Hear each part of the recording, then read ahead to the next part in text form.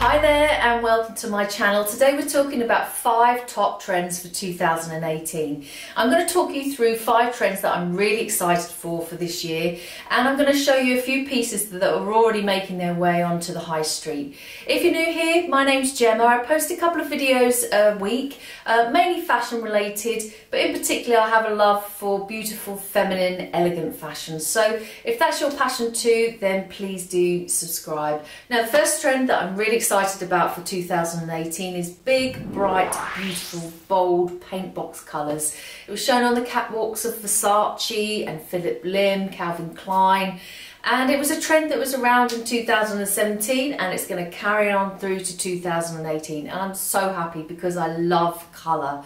Colour has such an impact on your overall image so it's about experimenting, finding a colour that you feel confident in. So I'm really happy about this trend. So the first thing I found was this gorgeous pink suit, which is such a stunning colour. But if pink's not your thing, there's every colour imaginable available on the high street. I found a green coat which will work really well over florals. And also from Karen Millen I found this bright yellow biker jacket. Such a strong colour.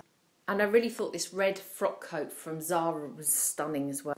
This pink dress is from French Connection.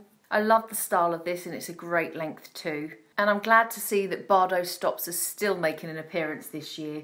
This blue jumpsuit is from Coast and I absolutely adore this colour. And if you don't feel comfortable in bright bold colours, then you could just add some accessories like this bright yellow crossbody bag, really brighten up an outfit.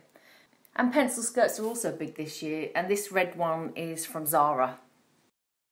Now the second trend, which is in complete contrast to the first trend of the bright, bold paint box colours, is pastels, and in particular lavender. Now I can't actually remember ever owning or wearing anything lavender, so it's a trend that I'm quite excited to try, and I'm looking forward to seeing what comes through onto the high street. If lavender doesn't suit me, you've got that whole colour spectrum of colours, strawberry pink, vanilla yellow, uh, lemon sorbet. I mean, it's making me hungry just thinking about it. Lilac's just seeping into the high street and I found this cable knit jumper from Zara which looks really cosy and in fact they've got a fabulous pair of lilac shoes on their website as well. And then there's spring yellow tops. This was from ASOS and this gorgeous pastel pink top from Reiss which I thought was so stunning. Also from Reiss was this jumpsuit which I thought was really stunning, really elegant. And another one from Zara is this pink crepe jacket and it also comes with matching trousers as well and I absolutely love a suit. This is one I think I'm going to be buying. I also found these boots. These are from Topshop in a lilac shade and it's also got this plastic heel which is a big trend for shoes. And another jumpsuit which is again from Coast in this really soft blue shade which I thought was really pretty. But what a beautiful colour palette and it's just going to be so feminine and so elegant for the spring and the summer.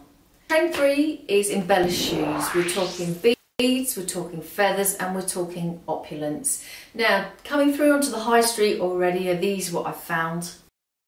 Some feathered heels which are just feathered enough to make them not over the top or look like fancy slippers. Now I had to show you these. These are not high street, these are designer, but I just thought they were fabulous and completely sums up this trend.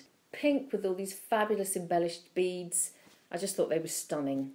Pricey too though. Embellished heels look fabulous and these are from Dune. Really stunning. And these boots are from Zara, covered with embellishments. And this little pretty pair of pink sandals with again some feathers on the top. Subtly done so they're not over the top and again not looking like a pair of fluffy pink slippers. Trend 4 is side slits.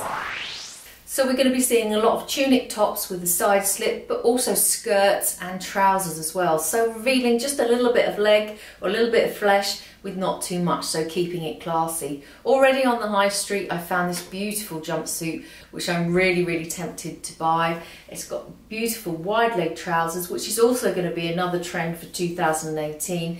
And it's got this large side slit up the side. I found this red maxi dress, which has got the slit up the front from French Connection, which would be lovely for the summer. And this trouser and top combo is from Zara. Obviously you can have them separately, but they've both got the slits with the slit sleeves and slit trouser legs as well. So I think it's going to be a big trend. And finally, trend number five is dark tailored denim. And it's a trend we haven't seen around for a long time, so I'm really excited to see what comes through. Shown on the catwalks of Nina Ricci, of Fendi, and this look here by Tom Ford, which I love. I really hope this feeds down to the high street and we start seeing some tailored, structured denim jackets. I couldn't find a great deal of dark denim on the high street just yet, but what I did find was this little jacket. It's not fitted or tailored particularly, but it's in that dark shade that's going to be really, really popular. And this skirt, which I thought was really nice. Great length, it's got a slit up the side, so combining two trends in one. So I can't wait to start seeing the trends start filtering through to the high streets. Let me know what trends you'll be looking out for, what you're most excited for. If you're looking for more fashion videos, then check out my recent hauls up here. Thanks for watching and see you again soon.